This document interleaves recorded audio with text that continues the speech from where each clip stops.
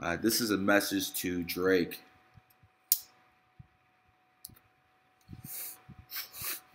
Punk ass dude born 1024 1986. Someone who's a four life path in numerology and a tiger in astrology. I'm just going to be point blank. Bro, you in the seven year cycle. What the hell you doing, man? You're doing the exact opposite we should be, man. You, trying to hit some some 47 year old low? What's going on here, brother? People look up to you. No, oh, you used to. Take care, Wayne.